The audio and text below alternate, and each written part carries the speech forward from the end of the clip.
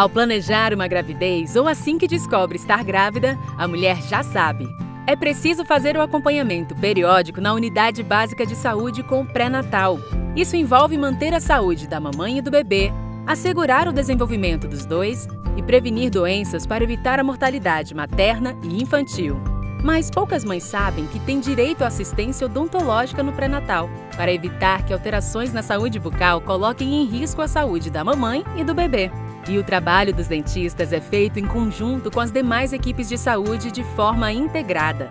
O Ministério da Saúde é SUS. É o governo federal zelando pela saúde das brasileiras em todas as fases da vida.